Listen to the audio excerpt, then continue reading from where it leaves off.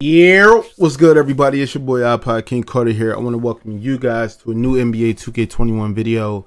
We are currently three days into the video game being out, and I have a lot to talk about. Okay, I don't know how long this video is going to be, but once you're done watching this video, you are going to be in tune with current gen NBA 2K21. So go ahead, grab whatever you need to eat.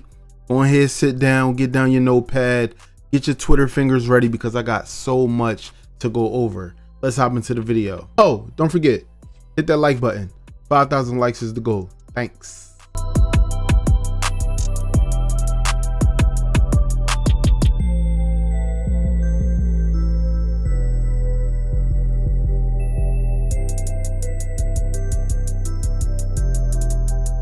So welcome to the video. Um, basically today I wanted to go over a whole bunch of things that I've learned about NBA 2K21.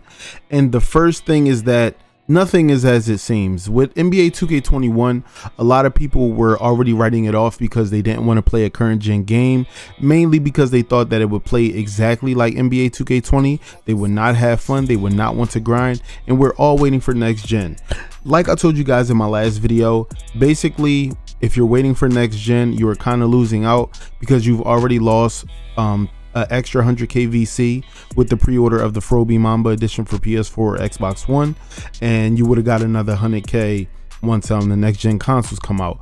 Now, of course, we don't know the release date. There are no prices for the next gen console, so there is that. But um, let's talk about the game for a moment. When I launched NBA 2K21 for the first time, which was on September 3rd, I noticed that the menu was a little bit more clean cut not a whole lot going on in the design area but i was able to get to the features turn off the music because don't nobody like copyrights that are creators and it was pretty simple straightforward created my player went into the my career storyline and had a ball now within the nine hours that I streamed the actual game, I played the entire prelude, every college game, and made it to the league. Actually, played Park in other modes as well to try things out. Now, what I noticed in the prelude was that my player basically had a pretty subjective storyline because mainly it was about a high school kid that lost his father going into college with one of his um, long lost, I guess, father's friends or teammates wanting to manage him along the way and get his career on the right track. Um, getting into relationships and friendships, um, a little bit of toxicity, but at the same time, it ended up um, ending in a you know a separation of sorts because of course the storyline cuts off once you get to the NBA. So everyone that you met prior to the NBA, besides Archie, which is the person that uh, manages you besides one of the female uh, managers. That was really about it. Um, your father, you didn't hear too much about besides him being one of the greatest in the hood. You never heard about your mother at all. And the funny thing is, you actually heard more about a family storyline with the people that were supposed to be your managers because they wanted to relate to you and tell you their life stories. But it was insane how I didn't really know anything about my life story. So that was here nor there. But as far as the gameplay goes, um, a lot of people was saying, you know, during the stream that, um, you know, you need to up the difficulty and, you know, and stuff like that. And I always, always come back to that. You know, I have one issue that I always have with people in the comment section. They always want you to play on the hardest difficulty, yet they are not playing on the hardest difficulty, nor will they ever in their life think about playing on the hardest difficulty. So anybody that's inside the chat, if you talk about the hardest difficulty to me, I want to see your stats. I want to see your screenshots. I want to see your clips. I want to see your achievement list, okay? I don't care about your little comment talk about, oh, you playing on this difficulty uh, versus that. It doesn't matter. Our main goal is to go online on 2K, play up against other people, and win. Also, have fun with your friends. Now, let's backtrack a little bit. So, once I got done with my nine hour stream, I still played the video game. And I was playing twos, I was playing threes, I was recording footage.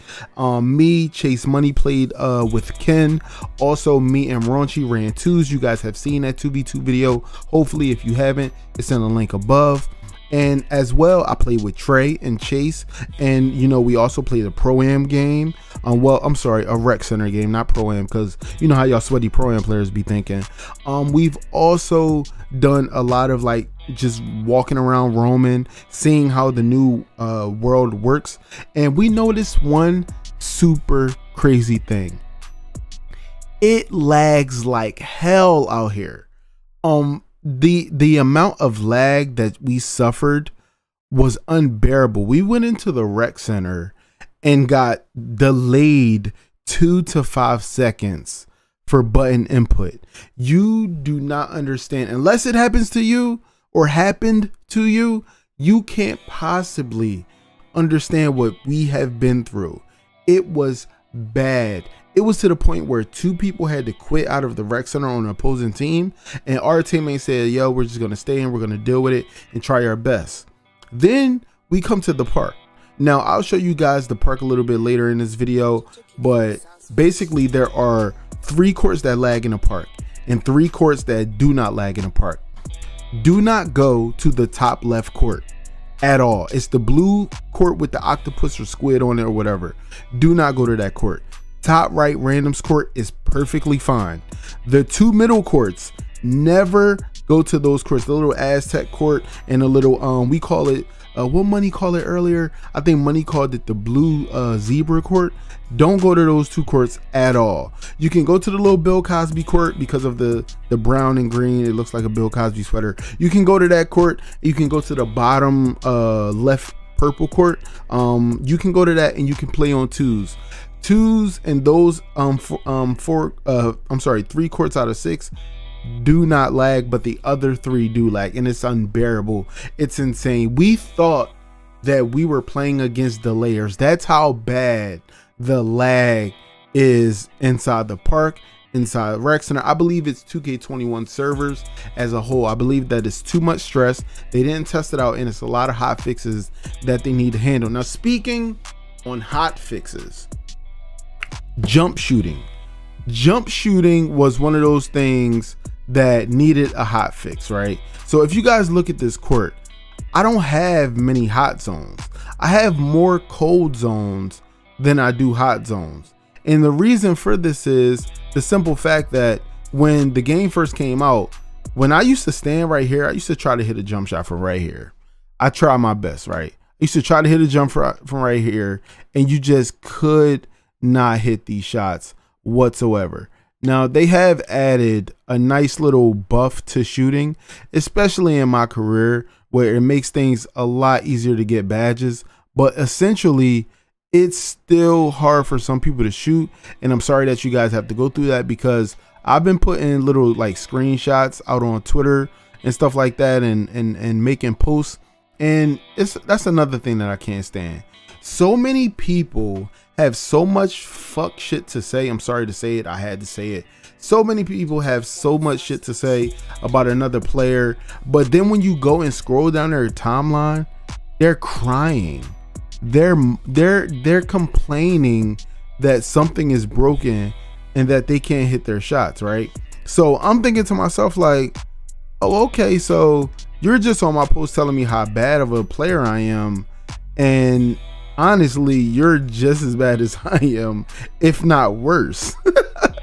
and that just don't make sense to me, man. Like people people are insane, you know. So that was one thing that um that I just had to get off my chest, like you know, because it's been a crazy three days. You know, I I, I streamed nine hours the first day, uploaded the video, uploaded another video, and now that I'm here with this little like update on 2K21 video, it's just it's good to just get things off my chest. You know what I mean? Because boy people talk so much. Now, um, let me show you guys what build that I'm working with and show you guys all the stats that I have here.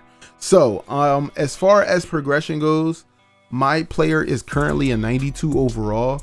Um, honestly, I have not um played 72 hours straight. I actually got some sleep. Um, um, if you are sleep deprived, I advise you to just take a nap you know please take a nap for me and my sanity because i don't want to see anything crazy happen to anybody but as far as progression goes for me these are my current stats Um, as you guys know, things will go up by one as soon as I hit 95. The cap is 99. But crazy thing, this build that I currently have is not the build that I created during the demo. The build that I created during the demo was a 6'5 max swing build that would get contact dunks and elite alley oops at 99 overall.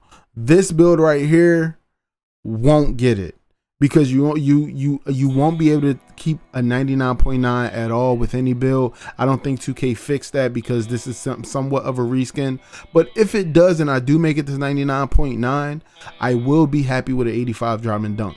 I did want to try my best to be at 85 and 99 so I didn't have to worry about the fluctuation, but I, I most likely will have to worry about it. Now, as far as badges goes, this build is one of the easiest builds to get badges for mainly because I do play park, I do play my career, I do go to the um, team facility. I am a jack of all trades when it comes to NBA 2K. I don't just stay in one lane, I try all different things. So as far as my finishing badges go, um, I have Lob City finisher, I have Slithery finisher, and I have contact finisher.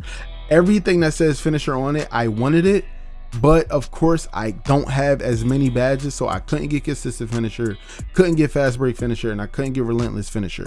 It would have been great to have relentless finisher and consistent finisher as an additive, but I want Lob City finisher so bad because I want to make sure that my player doesn't do doofy catches and then people throw the ball out of bounds or I miss my alley oop dunks. As far as shooting badges go, if you are a shooter, you don't have shit to worry about you get 15 plus badges, you can do life's work. You can go out and be a shooting surgeon if you want to. But for my non-shooting builds, please get yourself range extender. If that's the last thing that you do on this earth for your build, make sure that you put range extender on gold because you are not a shooter. You guys just saw my rating. You seen you seen how terrible that that three point shooting rating is, and you also seen how my midi is.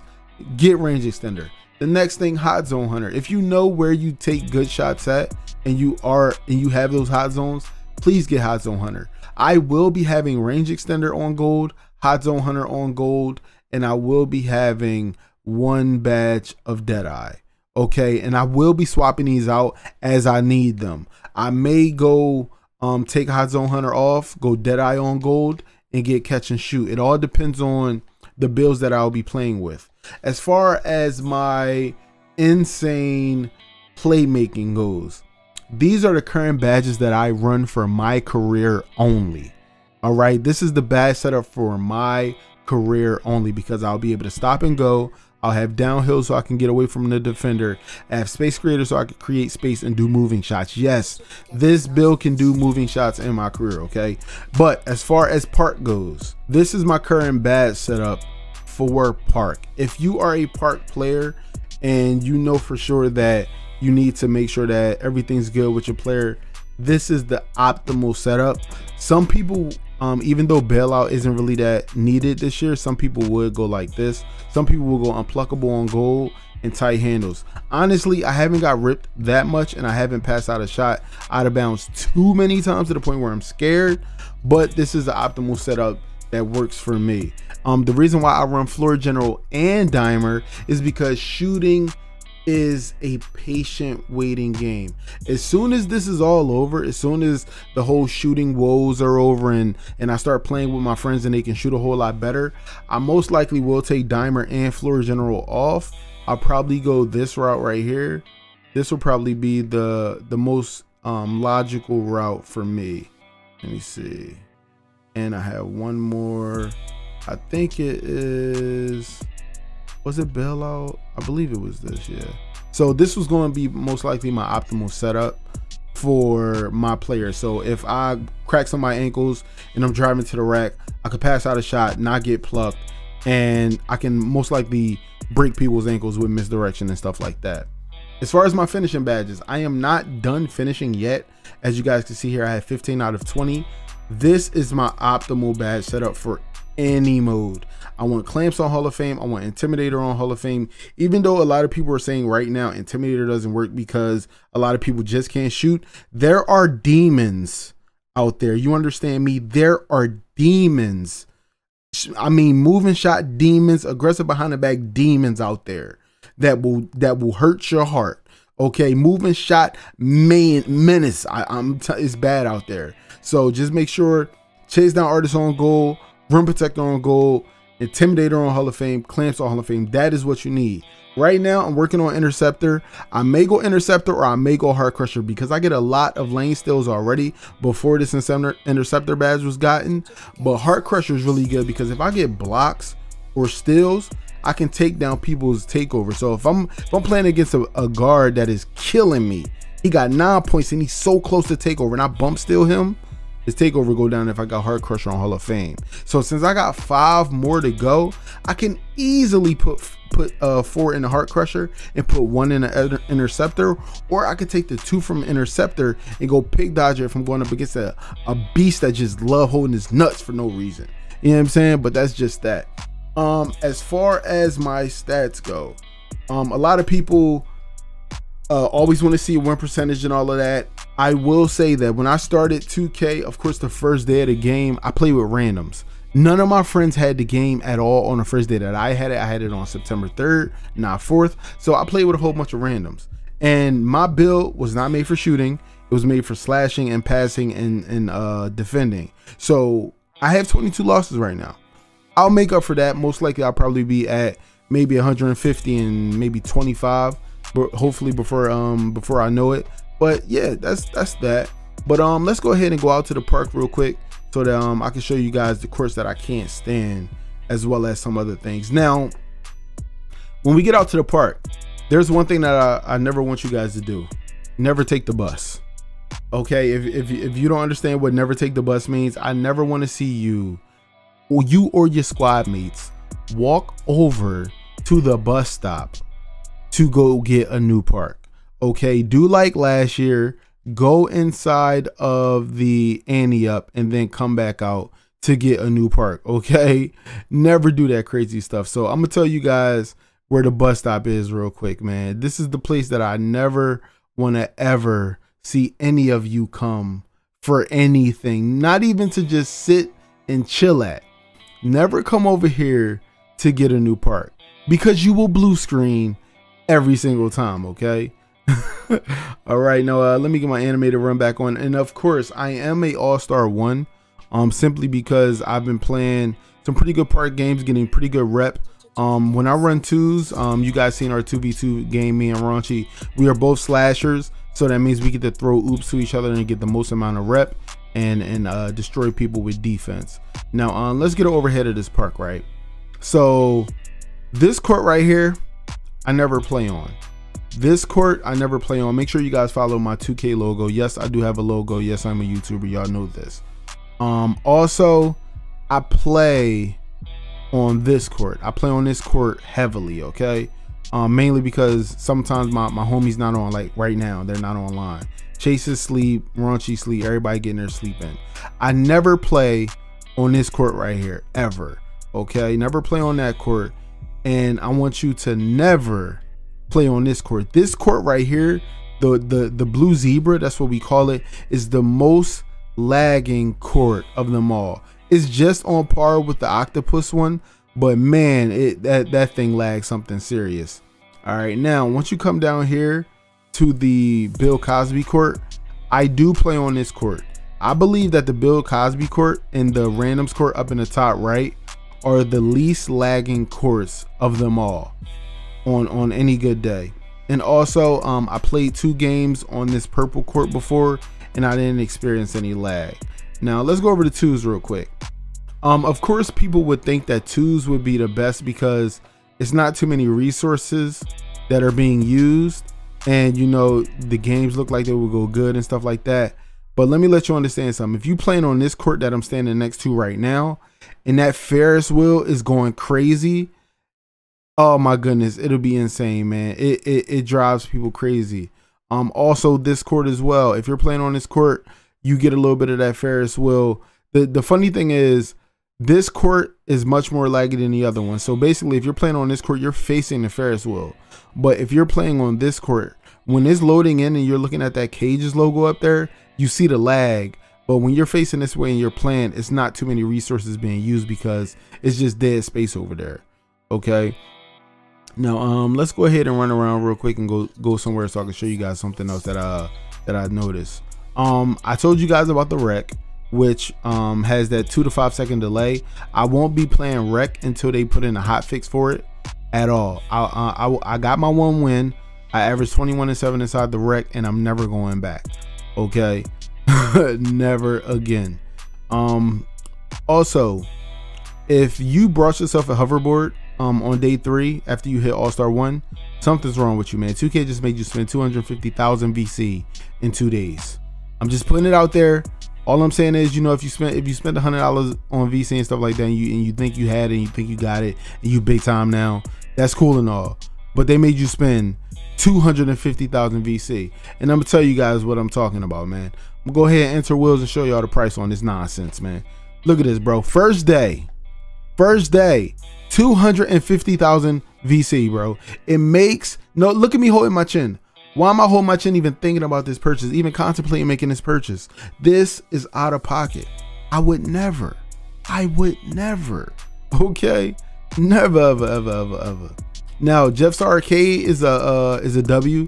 A lot of people do spend a lot of their time in Jeff's uh, 2K Arcade, which is cool. Um, also, I want to show you guys um, something at the 2K shoe store. So basically, um, what I've been doing is I've been getting some pretty good endorsements. I'm actually a starter in my career, which is um really really good.